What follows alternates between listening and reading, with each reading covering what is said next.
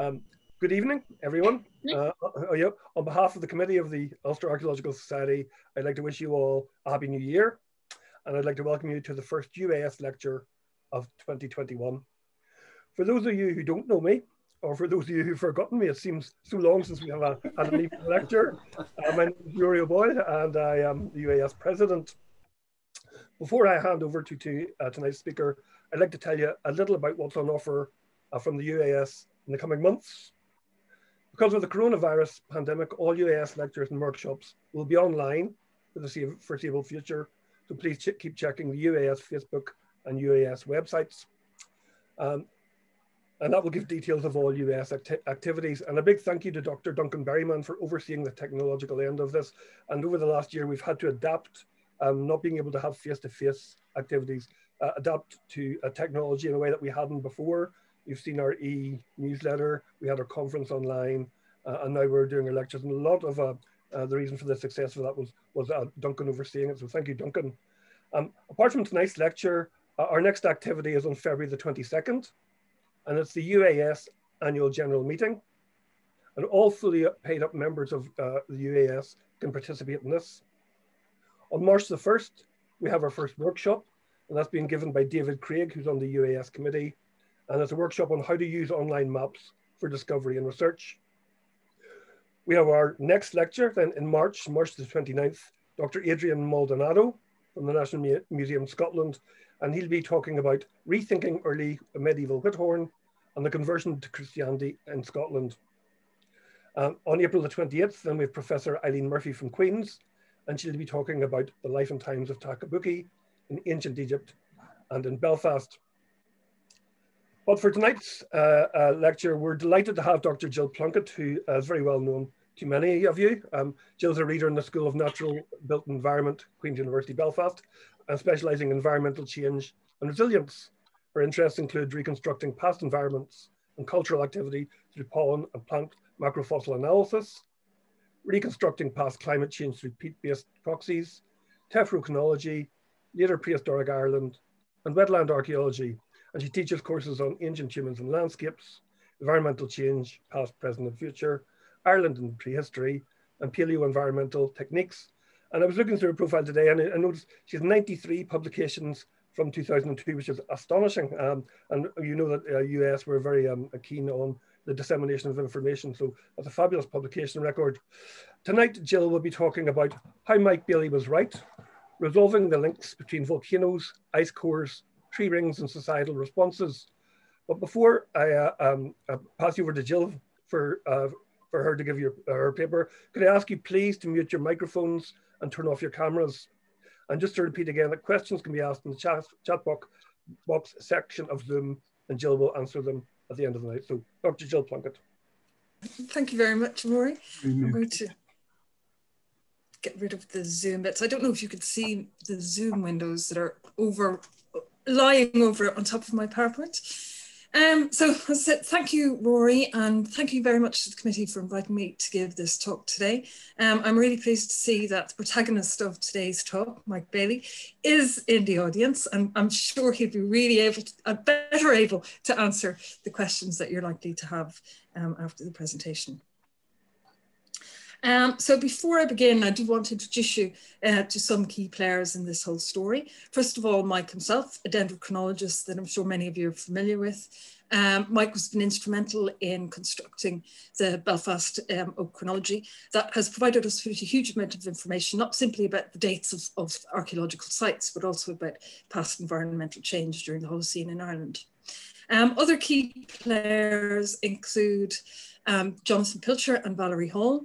Uh, Jonathan was also involved in the early days of dendrochronology, but more recently he and Valerie um, have to be credited with the, the initiation of tephrochronology, the use of volcanic ash layers as a dating method um, in paleo-environmental studies. Um, and it's really very much their work that I'm building upon here today.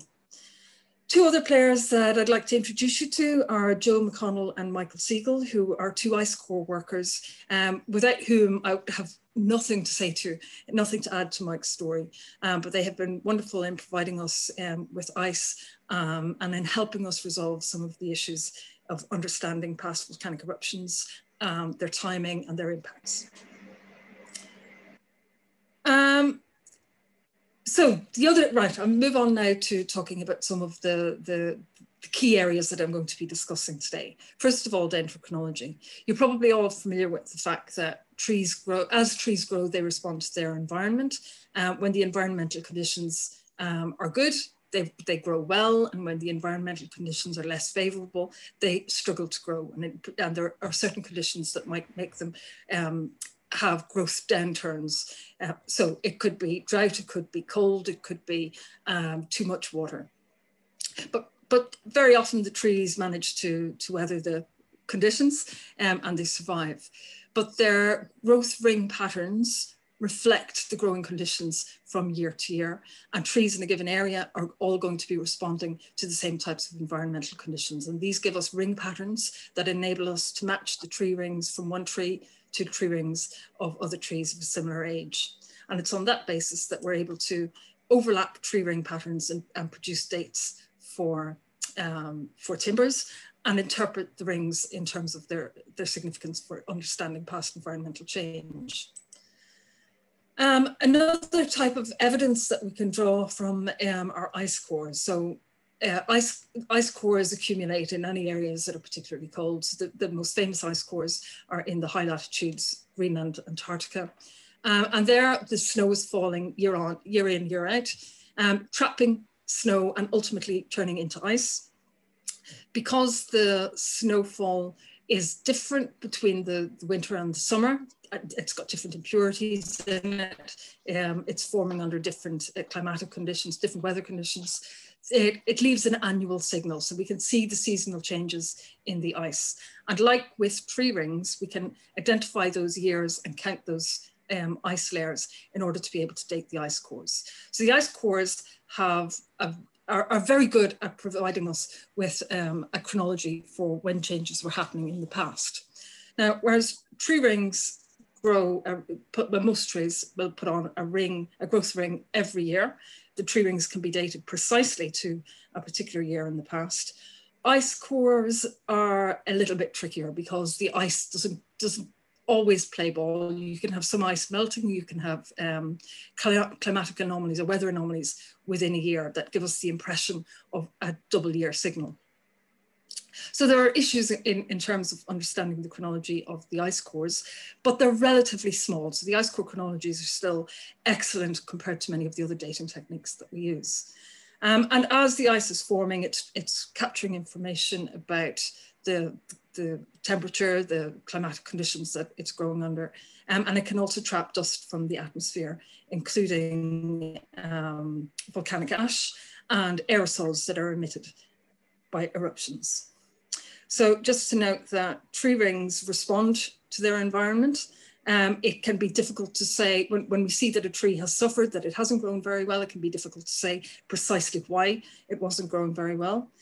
Um, ice cores also respond to climate change, so the amount of snow uh, that will fall will depend on the, the weather, for example. Uh, but they're also trapping information, so they're very much recording what's going on um, and recording lots of different proxies that we can compare with each other to try and understand what the, the record is telling us. Um, it's also, the, the story today is very much about volcanoes and understanding volcanic impacts. Uh, so when we have a large volcanic eruptions, we're talking about the explosive volcanic eruptions, they'll emit things up into the atmosphere. So they'll throw up um, gases and, and bits of rock, bits of ash into the atmosphere. And the very fine material, the very fine ash, um, it's extremely light. It will, it, and in an explosive eruption, it will go high up into the atmosphere. Um, and so will the gases that are emitted by the, the, volcano, and these will convert to aerosols when they mix with the, the moisture in the atmosphere. If they get into the, the stratosphere, then the, the aerosols have the potential to um, reflect sunlight back out into space. So they radiate heat back out into space, and this can cause a cooling at the ground surface. The aerosols can say they're extremely light, so they can stay suspended in the stratosphere for months or potentially several years, depending on how much is produced and how high they were uh, ejected. The volcanic ash, again, we're talking about microscope. Well, the stuff that travels far from the volcano is microscopic. Um, and it is also extremely light. It will stay suspended in the air. Well, if it gets into the stratosphere, it will stay suspended for days to months. Maybe extremely small particles can stay um, for longer periods of time, but they're getting below the detection limit of the types of, of tephra that we would normally look at. Um, I should say I will use the term tephra ash and glass interchangeably. Tephra refers to all volcanic, all particles emitted by a volcanic eruption. Ash refers to the very fine component of the tephra. Um, and the bit that we analyze is actually the glass. So we're, we're getting material, molten um, magma that's solidifying in the atmosphere and forming glass shards. And it's glass chemistry that enables us to link the tephra, when we find these glass shards, we can analyze the chemistry of the glass um, and use that chemistry to tell us what volcano it came from. Usually, we don't always succeed in identifying its source. And the reason we can do that is because the geology of a particular volcanic source will be unique to that source. Um, and the glass chemistry should reflect the geology of that location. So as long as we have the information about the geology of the, the source volcano, we may be able to make a match. If a volcano has never been studied before, then we won't know what it, its tephra looks like. Okay, so I first met Mike when I came to do my master's in Queen's in 1994. Now I have to confess, I did not know who Mike was. I'm not even sure I'd heard of dendrochronology. My background was archaeology, studied archaeology in UCD. Um, and I'd never heard of Mount Hekla in Iceland either. So I very much enjoyed learning about um, Mike's perspective on understanding past climate change. And I particularly remember when he introduced um, the story, uh, his hypothesis about the, the eruption known as Hekla 3 and its link to um, the Irish Bronze Age. So Mike had identified a growth anomaly in Irish oaks. So a, a, series of years, up to, up to about 18 years, in which the trees were barely managing to grow. Uh, so you've got all these annual rings that are um, crammed on top of each other. And this indicated a period of stress for the trees. Roughly about this time, it was known that Hekla had erupted in Iceland. Now, in fairness, the, the radiocarbon dates indicated that the eruption had happened sometime between about 1200 and about 900 BC, um, so, and the tree ring dated to 1159 BC. And there were a series of ice cores producing evidence for acid layers. So they were capturing sulfates uh, uh, that had been emitted by volcanic eruptions. Um, and one of their events, or, or the, the ice cores seem to be picking up an event that could correspond to the same time period. So Mike had suggested that, well, we, knew, we know the trees had suffered a period of stress. We know that there was an eruption approximately around about that time, and we know that Hekla was a large eruption um, in the same time period. So Mike had suggested that perhaps Mount Hekla had been responsible for a climatic downturn at the time. That I don't have a problem with. But when Mike suggested that there might have been a link with the construction of hill forts, because Haughey's Fort in County Armagh um, had recently been dated to around about the same time, um, I, I had cause to, to pause uh, because I was aware from, from having studied archaeology that hill forts were a phenomenon that, was, uh, that were being constructed in other locations. So it wasn't as if they suddenly appeared um, in Ireland. Um, but there were other sources of information. So Mike had, had looked at some literary evidence, uh, found that the end of the Shang dynasty um, had occurred around about the same time with some literary references to a variety of different events that suggested that there was some sort of um, climatic issue at the time. Similarly, in other parts of Europe, particularly around the Mediterranean, there were suggestions that there were social issues happening. So you've got um, populations moving, um, populations, uh, societies collapsing at this particular time, generally suggesting that maybe societies were under stress um, at this particular time period and potentially as a result of an environmental catastrophe or volcanic um, impact. Since then, uh, a lot more work has been done on the dating of hill forts. So Billy O'Brien uh, and James O'Driscoll have excavated a large number of, of hill forts and obtained dates for them. Um, and they have managed to demonstrate that hill forts are not um, a phenomenon associated with any strict time period. So yes, there are hill forts constructed in the 11th century or around about the 11th century, but there are certainly some hill forts that appear to have been constructed before 1200, and there were certainly some still being constructed around about 900 or 800 um, BC. So that suggests hill forts were being constructed over a long time period, including before the climatic anomaly, and it's very difficult, therefore, to say that hill forts were a response to a short-lived climate event. Um, in addition, I'd managed to identify during my PhD uh, the presence of Hekla 3 tephra in County Tyrone. And at the same time, Christel van den Boogaard had identified Hekla 3 tephra in bogs in Germany. And for both our records, we, we had managed to date the tephra to about the 11th century, suggesting that the eruption happened in the 1000s, not the 1100s BC. So in 2006, I wrote uh, one of my first papers to suggest that, the, that we could no longer um, uphold the idea that Hekla 3 caused an environmental downturn and triggered the construction of Bronze Age hill forts. And that was the first time I challenged one of uh, Mike's uh, suggestions. What I can say is that we, we, we've demonstrated that Hekla is off the hook Okay, so Hekla happened after, well after the 1159 BC event. The societal response in Ireland, at least, is questionable. I haven't really looked into societal responses elsewhere. Um, but be that as it may, we still, we're still left with the fact that something caused the trees to struggle. So there was some sort of climate anomaly or, or environmental anomaly happening in the mid 1100s.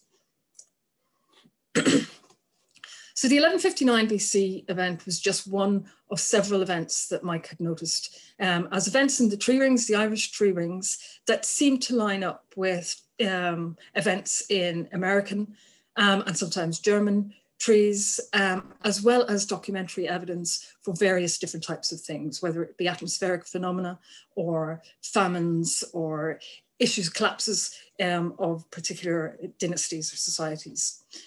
Um, in addition to that, there were often um, ice core records suggesting that there were volcanic events um, or large volcanic events. Are always volcanic events, but in, in these cases, pretty significant volcanic events in around about the same time period. So we seem to be seeing a pattern that was repeated at different intervals with a series of um, environmental events recorded both in the trees and documentary records um, associated with ice cores, which might be suggesting that we've got um, volcanically forced environmental events going on. Um, the Irish oaks, as I said, the, the tree ring records are dated precisely. Um, the ice cores, on the other hand, have a little bit of error, and that's what these little bars represent, a certain degree of chronological error. Similarly, some of the literary records are not precisely dated. Um, in 1984, uh, Hammer published new dates for three Greenland ice cores. And in this, in this paper, um, moved the AD 535 acid layer back to AD 516. So the, the, dates were shifted and this event was no longer close to one of Mike's um, tree ring events. So the, the, the event that we see at 536 is one of two. There, there are two narrow ring, two, two tree ring downturns, one at 536 um, and a second at 540, so closely spaced events. Um, without a volcanic signal in the ice cores, it's difficult to argue that the, these are caused by volcanoes. So Mike suggested that perhaps they were caused by extraterrestrial impacts. So basically um, asteroids coming in um, and creating dust veils.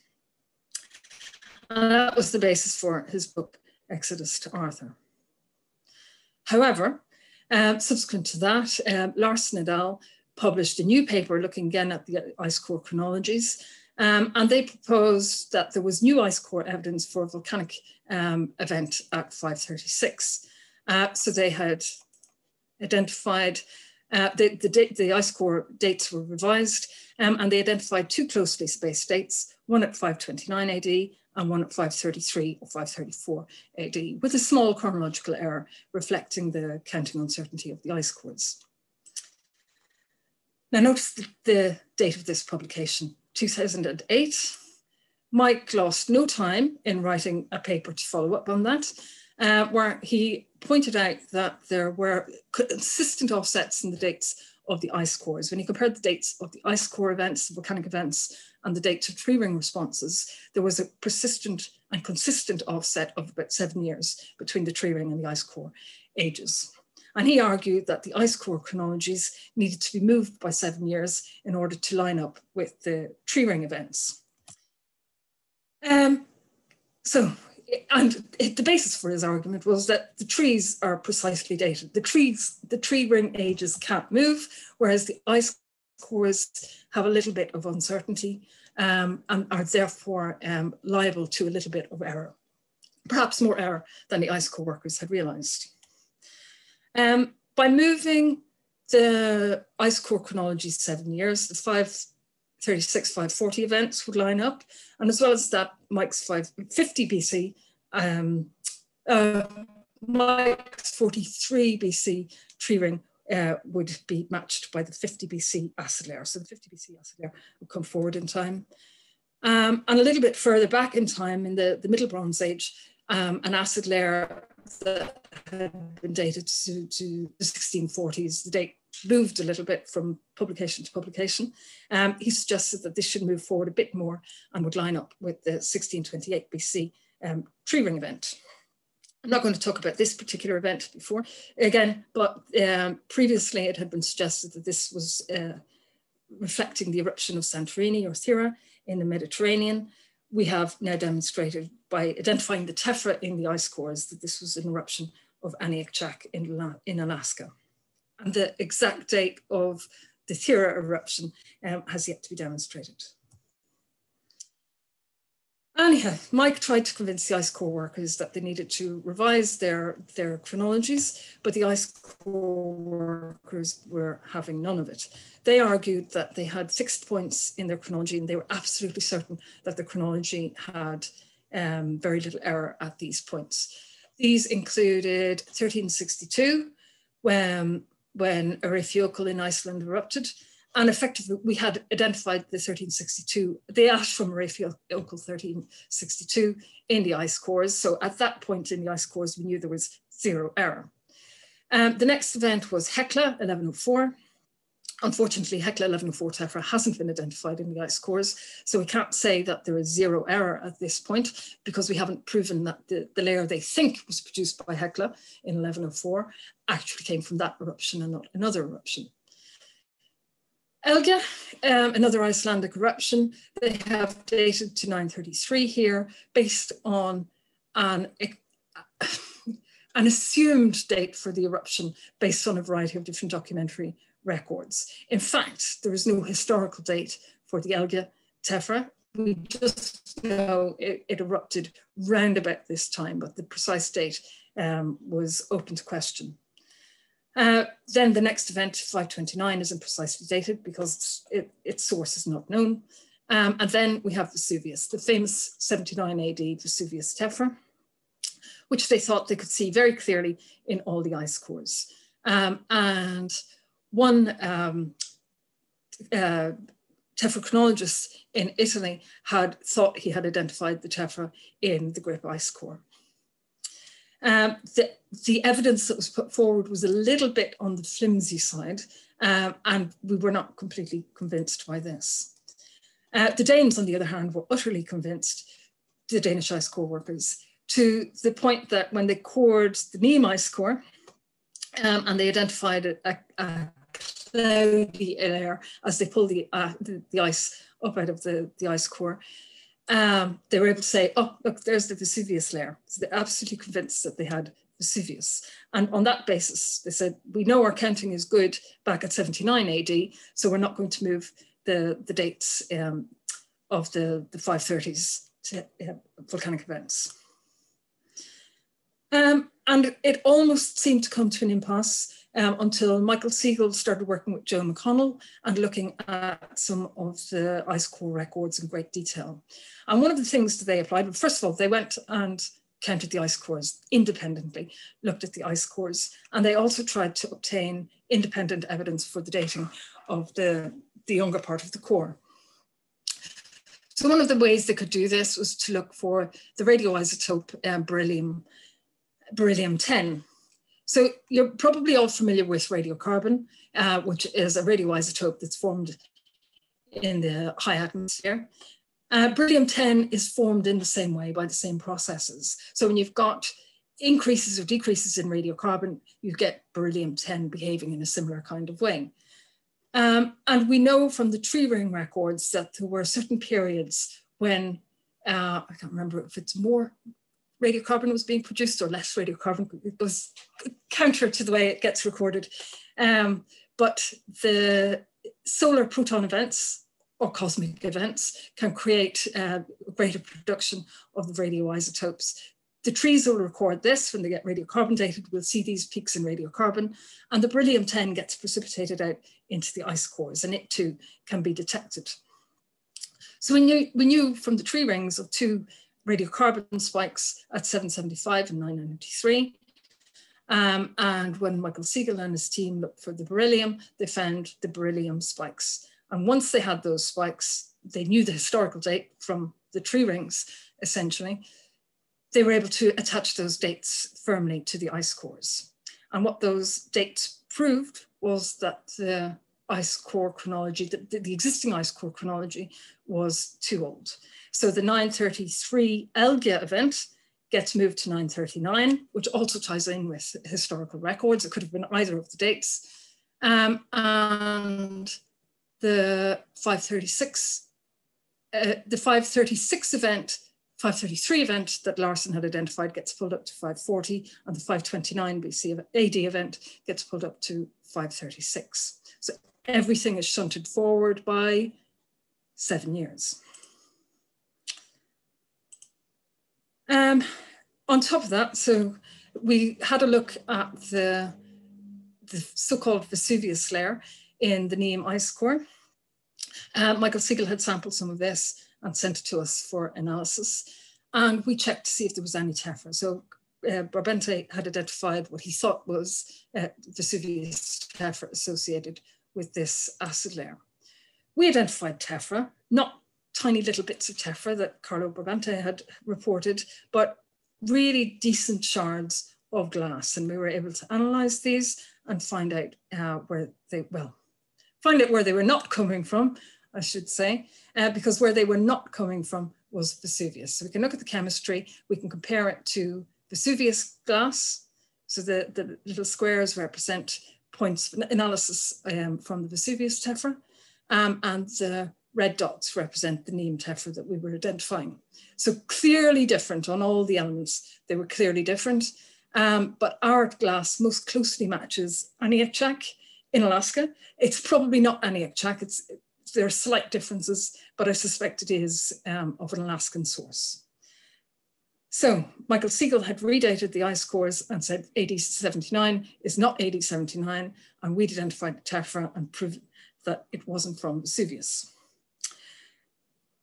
Um, furthermore, the redating shows that the 536 and the 540 events are volcanic, so we don't have to invoke um, uh, impact events. Um, and the 43 BC event is also volcanic. So the, everything starts to line up and point towards volcanoes as the, the cause of the environmental downturns. And hence, Mike was right in the first place. They were volcanic events and the trees were responding to volcanic impacts. So that's kind of Mike's part of the story. Um, where do I come in? Well, we had a look at some of these events, and uh, I'm going to tell you what we found about. Uh, found out about the 536 and 43 BC events. Um, the 536 one, as I said, had moved. The, the Larsen's two events had moved forward in time. And what Michael Sigl identified by comparing the the acid signals in Greenland with the acid signals in Antarctica was that the 536 event was only seen in the Northern Hemisphere. in, in Greenland, suggesting that source was in the Northern Hemisphere. But the 540 event was represented by acid layers both in Antarctica and in Greenland, suggesting that the volcano that caused it was more likely in the tropical region because the, the, the aerosols can disperse to the poles if it's in the tropics. But it's unlikely if it was if the eruption was in the northern hemisphere that it would make it all the way to, to Antarctica or vice versa. Um, as well as that, we have ring records uh, that enable us to reconstruct what temperatures were like. So when we get trees that are growing in temperature sensitive areas, we can reconstruct temperature curves through time. Um, and the tree ring reconstructions, temperature reconstructions, were suggesting that these events were associated with a temperature dip of two to three degrees, uh, which is a significant decline in temperatures lasting for um, a protracted period of time. So we're looking at an impact that lasted a couple of, of decades. From a societal perspective, that's a long time to have a, a climate downturn. um, we looked at the ice. We were able to get ice for 536, but unfortunately the core was broken, so we didn't get ice at 540. So we haven't looked at the 540 event, um, although uh, Joe McConnell's data from the ice cores suggests that there probably isn't tephra. He can, he can measure particles as he's analysing the ice in his lab, and there, don't, there didn't seem to be a lot of particles present at this time. So that would fit with the 540 event being much further away from Greenland, uh, that the ash wouldn't actually reach the, the poles. But the 536 layer had tephra and it had beautiful tephra, really large shards, uh, very different types of shards. Um, as you can see here, little minerals in the glass make the analysis a little bit difficult, but we were able to get a good set of analyses. And what we found was that we didn't have a single tephra, but we had several populations of tephra. By populations, I'm referring to where the points group in, um, and separate out and are clearly different, differentiated from each other. So we're not absolutely sure where any of these are coming from, um, on the one hand, it would seem that uh, we have some matching a volcano in um, Alaska. Again, it's similar to Aniakchak, but it's not quite Aniakchak. But whatever it is, it's the same as the one that was erupting in not 79 AD. Um, we have another that's similar to a Californian uh, volcano, not a large eruption, in fact, quite an insignificant eruption, um, but maybe less insignificant than we realized and another one, not entirely sure where, where they're coming from. I suspect they're all North American. Perhaps one could be tropical, could be from Mexico, but we're not absolutely certain. Um, but, but I think it's, it's possibly significant that we can't link any of these to a, a, known eruption because all the big eruptions have really been studied. So if, they if any of them had been a big eruption, we probably would have been able to find a correlation. Uh, so I have suggested that maybe we're looking at three relatively insignificant eruptions. Any one of them on their own wouldn't have had an impact, but the fact that we have three eruptions, or maybe even more, going off at the same time is the equivalent of uh, a single large eruption. So uh, I, I strongly suspect one of them is uh, from Alaska. The other two, I'm not absolutely sure about yet. Did the eruption have a societal impact? Well, in Mike's records, the, the, this is one of the events that seems to line up with records, uh, early historical records, documentary records for um, atmospheric events, famines, um, for issues generally. Um, there are things like plagues happening in various different places, and this precedes the, the spread of Justinian plague across Europe. Um, so it's possible that these events are due to the, the impact of a climatic downturn following the series of volcanic eruptions at 536 and then again at 540. Um, from an Irish perspective, so all very well and good what's going on in China, Egypt and the Mediterranean, but the real question is what's going on in Ireland. Um, Mike had been, as well as looking at climate anomalies, um, keeping an eye on what was coming out of the dates when they were dating archaeological sites. So I should also credit Dave Brown um, for his work in um, analysing tree rings as they came into Belfast for dating. Um, and they had noticed a gap in the, the production of archaeological sites. So there have been lots of building in the Iron Age, um, and then there was lots of building again in the early medieval period. And in between, there was a long period of not much happening. Uh, that happens to coincide with the um, woodland regeneration evident in the pollen records. So um, Mike had suggested that maybe an environmental event had, had acted as a kind of stimulus for building in Ireland at this time. It's plausible to an extent, but from my perspective, coincidence does not prove causation. Just because they happen close in time doesn't mean that the, the, the events or the, the, the constructions were the res result of a climate uh, downturn or perturbation. But that brings us on to looking at the, the earlier event, the AD, the, the should be 44 BC event, um, and whether a volcanic event was responsible for the collapse of the, the Iron Age, because what happens in the early centuries AD um, remain a, a, bit uncertain. We're getting more information about it now, but for a long period of time, we really did not know what was happening. I can't believe I put AD 44 and I, had, had, had BC and I'd gone changing BCE to BC. Anyhow, what do we know about the 44 BC event? Um, well, we know that there were a series of events um, in Europe around about this time. Stothers and Rampino had gone through a lot of historical records and collected information about various different phenomena happening, uh, atmospheric phenomena, as, as, well as societal responses, um, potentially linked to volcanic eruptions. Um, and they reported evidence for protracted eclipses after the murder of Caesar.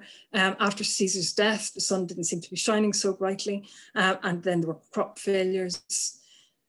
And we know that around about this time, there was the, the eruption of Mount Etna in Italy. So this seemed to be a possibility. Etna erupts and was close to where the Romans were recording these events, so potentially that was the source of the, the, the issues that they were seeing. So um, Rampino and Stothers decide that in the ice cores, there is an acid signal around about 50 BC. So Mike has talked about this. Um, and they recognize that this is one of the largest volcanic eruptions in the Northern Hemisphere, uh, based on, on information put out by Hammer et al., the ice core work, the Danish ice core workers. Um, Furthermore, they went on to say that they believed that the evidence that they had assembled, the various different documentary reports, um, suggested that the eruption um, in question was Etna in 44 BC. Um, so what we, we do know is that there were certain types of atmospheric um, phenomena recorded sometime after Caesar's death. We know that there was an eruption of Etna after Caesar's death. The records don't say exactly how long after Caesar's death, whether it was very soon after, several years after. Um, we know that from the ice cores that there was obviously a very large volcanic eruption around this time. And we know that the tree rings record uh, a period of stress. Now, the Irish tree rings don't, at the time, we didn't have any Irish tree rings covering this period, but North American trees were showing evidence for stress in 43 BC. Um, the Roman, the, the, reports of what was happening in Rome included um, evidence for, for, crop failures that um, beleaguered, the, beleaguered the Republic at the time when it was suffering from uh, political turmoil. So Joe was interested in this event and he has studied it at high resolution. He's gone in and he's looked at it very closely and he identifies that there aren't, there isn't just one sulfur peak, reflecting a volcanic eruption, but rather there's two. There's a smaller one and then a larger one. And he subsampled this in very fine detail and sent me a sample and I identified tephra that corresponds to the beginning of the larger sulfur peak. Um, and this is what this is what the ice core samples look like. It's water, the ice melts um, in a bottle. It's shipped to me. I put it into a tube, centrifuge it, and concentrate the particles and melt them on slide and analyze them. And we found tephra. nice tephra. As you see here, a brown tephra. And we were able to analyze them and get some results. Um, and we could show our points are the, the red, the red points represent the ice core tephra. Um, they're clearly not Etna, and they're not any of the other eruptions that we know erupted around about this time um, in the Northern Hemisphere. Uh, but what they do correspond to is Okmok, which is in Alaska. So it's on the, in the Aleutian Islands, um, a large volcanic eruption, which we knew had erupted round about, um, round about this time. I can't remember what date it was, but it, the, the, the, dates for the eruption were pretty close. Um, and the tephra, the tephra chemistry matches it perfectly. So we can be absolutely certain that the eruption of Okmok produced this tephra that ended up um, in the ice cores. So we know it was a large eruption. We could tell from the volcano itself that it was a large eruption, the, the, the remnants of what was left. Um, but it's in the high latitude and common thinking would be that if you've got a large eruption in the high latitude, it's not going to have a big impact on climate because it's so far north. Um, it's not having such an impact on solar radiation affecting other parts of the, the, the hemisphere. But we investigated this. Um, so we looked at the, uh, the temperature anomalies reconstructed from tree rings. We looked at the uh, variety of different historical records to identify what was happening around about this time. Um, and historical records indicate that there was something happening around about 44 BC, but these tended to be in the area around Italy, and something happening at 43 to 42 BC. And the dendro uh, climate reconstructions, the temperature reconstructions were suggesting that in the Northern Hemisphere, uh, there was a cooling happening at 43 and 42 BC, so associated with the larger of the two volcanic signals. Again, we're left, so we have good evidence from the tree rings supported by the documentary events, the, the documentary evidence that there was a cooling um, following the volcanic eruption of Okmok around about 40, uh, 40, 43 BC. But did Okmok cause those? This is the really difficult question to answer. Well, there are two, two ways to look at this. So for a volcanic eruption to have an impact on climate, the material has to go high up into the atmosphere. It has, has to reach the stratosphere. If it's below the stratosphere, the volcanic, the, the aerosols will be washed out um, pretty quickly and won't have the same impact on the climate. So one way to investigate this is to look at the sulfur isotopes, so the sulfates that are produced um, as a result of the eruption. We can look at the sulfur isotopes contained within them and the sulfur isotopes will tell us if it reached the stratosphere or not. So Andrea Burke in St Andrews looked at the, the sulfates and demonstrated that yes, they had reached the stratosphere, which meant that the volcano at least had the potential to impact on climate.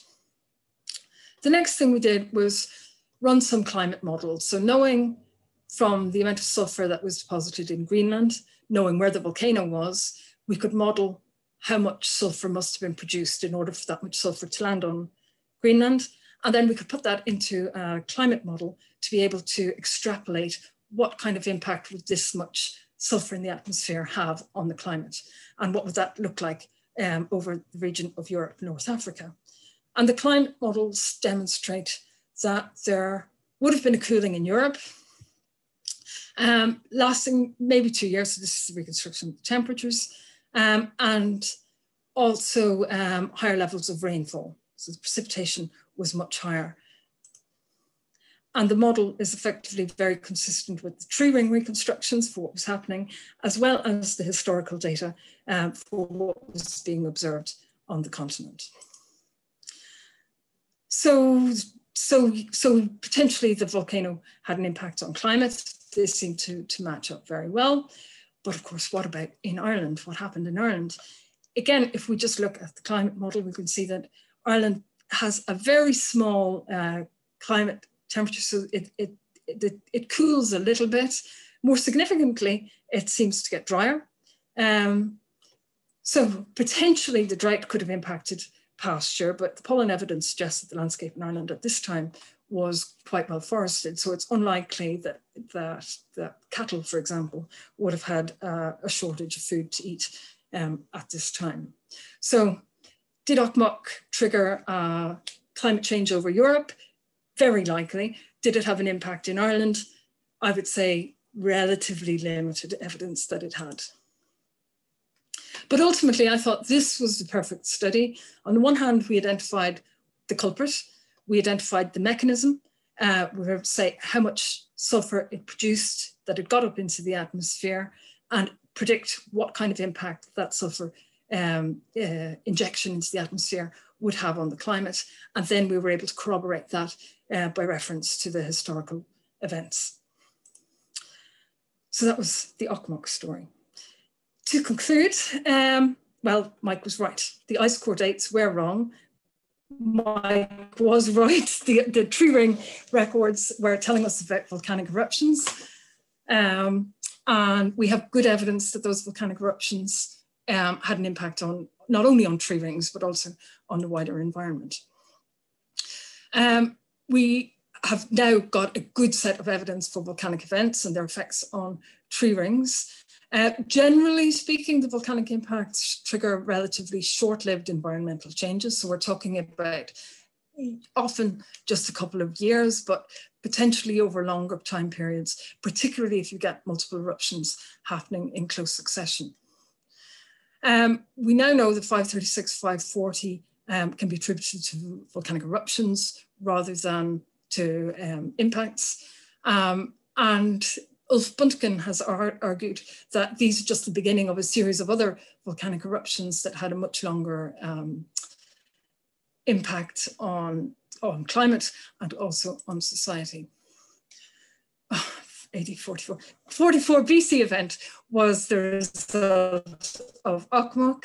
Uh, the, the climate modeling corroborates the historical events. So previous cynics had, had suggested that the historical events might have been exaggerated, they mightn't have been accurate. Effect, well, it, it might seem like a, a circular argument. The climate records corroborate, the, the climate modeling corroborates what, what's observed in the historical events, suggesting that the, what the Romans were saying was happening was probably happening. Um, did the climate anomaly affect the Roman Republic? Did it cause the collapse of the Roman Republic? Well, I think that would be a big stretch. We know that the Roman Republic was already um, struggling at this time, but it is possible, I think, to say that the, the weather anomalies won't have helped their situation. Um, overall, I would conclude that direct societal impacts are not easily demonstrated, that there are often a whole set of, of conditions that you have to consider before deciding whether a society was vulnerable to, to climate events or whether there were other factors at play. But I think it's safe to say that the tree rings don't lie. They just sometimes mumble and we're not quite sure what they're telling us. So thank you very much. I've finished there. I should identify the chat. So, oh, brilliant. thank you. thank you, Gill. Um, now, let's see. They're not all on unmuting yet. No. Yeah, I was looking at the chat. I don't see. Am I? Don't see any. Um, are there any questions? No, uh, it's just mind blowing. Yeah, that, that, was a lovely and, and, and really exciting uh, um, um, uh, uh, lecture to start the year. It's fantastic overview of a story that's ongoing and it's massive importance, not only for Ireland, but for, for throughout the world. So thank you for um, summarising it so uh, uh, concisely. Yes. yes. Thanks, Rory. Okay. I'd just like to second that, by the way. I thought that was an excellent presentation, Gill. Well done. Even if I put in AD 44 instead of 44 BC. That's what happens when I'm trying to do lectures and presentations at the same time. I don't envy you. I did enjoy it very much. yeah, I did too, Gill. Thanks very much. I had a question. Uh, somebody's asked about the Justinian plague and what was the significance of it. Okay, I'm going to pass it on to Mike, if I may. oh, well, anyone who wants to find out about it should listen to Melvin Bragg's program last Thursday yeah. morning on because uh, they had a whole 45 minute discussion on it. Um, basically, it was a major plague um, and seems to have run across Europe uh, in, in waves over a period of uh, many decades. Um, as a catastrophist, I would have said to us it, it, came and wiped out a third of the population. But if you listen to the experts, um, should I say historians, uh, they take a much more muted view. Uh, I, I, tend to over, overstate things, yeah, more or less to stimulate people to prove me wrong. Gill. but but it's true, is it not, Mike, that the Justinian plague and the Black Death had massive um, mortality rates um, that dwarf what we're seeing at the moment with COVID. Yeah, I mean, basically, basically, these are the first two great pandemics, um, and it, the round figures are about a third, up to sometimes a half of the population dying. Um, you see, one of the one of the tensions you have is that some historians will state that quite clearly, um, and then there are other historians who are nervous about um, invoking the effects of, of um, non-human agents. So they try to play things down. So it's an ongoing discussion. There's, there's uh, a lot of information out there. Uh, I think you can take it that things were pretty bad. And that's well reflected in the sixth century because there's so little documentation from the period from 540 to 600. Um, and a lot, a lot of the information we do have is quasi mythical rather than actual historical documentation. Thank you, Mike. Yeah. I, I, could just point out, Mike, and, and you know it as well, that there's there is a, a dendrochronological blip um, uh, starting basically after 540. So the, there are a lot of sites being built between, you know, 550 and and, six, and early 600s AD. Is that correct? Oh yes, yes, yes. We after after the Iron Age lull, when we see mm. very few sites being built, we suddenly see I don't know what um, I don't have the figures to hand, but more or less a continuous stream. Yep. Every few years, we've got another site date uh, running right through for centuries. So mm. it's um, quite clear something changed dramatically in, in Ireland uh, at and around the 540s. Yeah.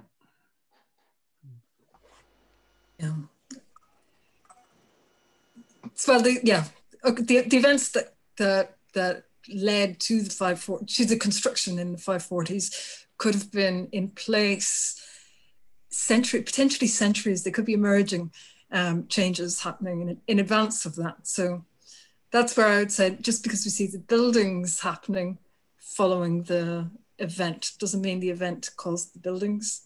That it's part of a continuum, if that makes sense.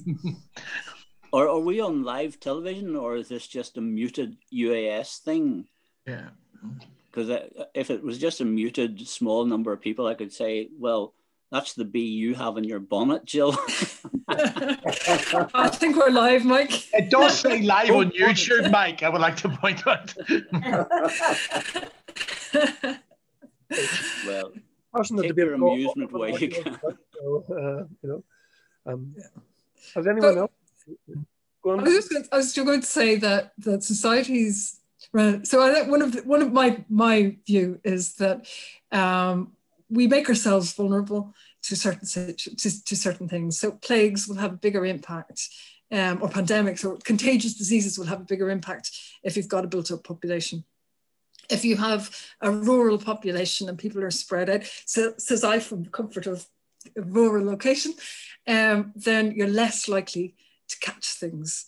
Um, and the population is less likely to be affected by them. So in Ireland, we don't have evidence that people were living on top of each other in the the early 500s. So why would a, why would a contagious disease be able to spread and decimate the population so, so that's why I don't, I don't, I don't think Justinian plague will have had as great an impact in a place like Ireland. Um, Mm. religion, religion. You know, there were all sorts of other things happening at this time, so it's difficult. It, it, but I would say it's it's never a straightforward case when it comes to humans. We, we always have to look at the many other factors that are um, at play, and humans are complex individuals who make things more complex for themselves than they have to. Uh, let's see. I see there was a question popped up there. How common is it that several volcanoes erupt about the same time? And is, is, is there any special significance to be attached to that? I would say that there are, well, there are always volcanoes erupting. There are always volcanoes erupting. Um, and sometimes there are lots of large volcano, large-ish volcanoes erupting around about the same time. Um, we did wonder about the 536 one that you know particularly if the potential sources were sitting around the pacific rim. Um, we'll put that one on hold for the moment. Uh, but but it, but we have other occasions where we've got multiple eruptions going off at the same time and we see that in the Tephra record as well. Anybody else with any questions? Anyone um, I think Gill said you said that you were going to be uh, you were going to allow us to put this up on the UAS Facebook site in a couple of days' time. Is that right? So for for those of us who, who aren't of the scientific side of archaeology, it'd be nice to have a chance to rewatch and kind of take in some more of the, the technical detail. Um, so you ha- you will be happy uh, if we put it up. Yeah, no problem. That's brilliant. Um, any other questions? No, no. Okay. Well, um, I suppose I should bring the evening uh, uh, to an end. And just to thank Dr. Gill Plunket again for a fascinating and, and uh, um, uh, very detailed uh, um, talk and say great start 2021 um, with a, a, lecture of this caliber. So thank you very much. Yes, indeed. Thank you, Rory. Well done. So with that in mind, I'll probably ask uh, Duncan if he's still there, maybe to bring the evening to a close. And we'll see some of you at the AGM on the 22nd of February, assuming that you are fully paid up at that stage.